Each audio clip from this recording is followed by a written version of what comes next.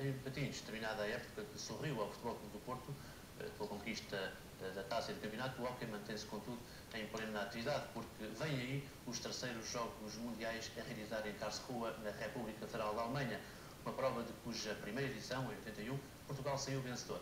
Repetir o êxito e adquirir a rodagem necessária para outros e mais altos voos é o objetivo do selecionado nacional, que no Pavilhão da Luz tem vindo a cumprir um rigoroso plano de treinos.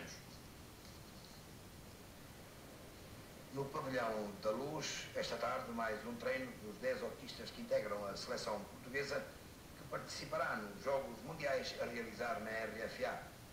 Dois guarda-redes, Franklin, do Futebol Clube do Porto, José Carlos, do Benfica. Defesas médios Alves e Realista, do Futebol Clube do Porto. Paulo Almeida e João Carlos, do Benfica. Avançados, Vitor Hugo e Tom Neves, do Futebol Clube do Porto.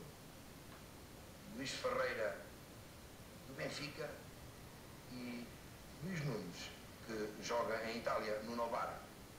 De fora e por lesão ficou Pedro Trindade.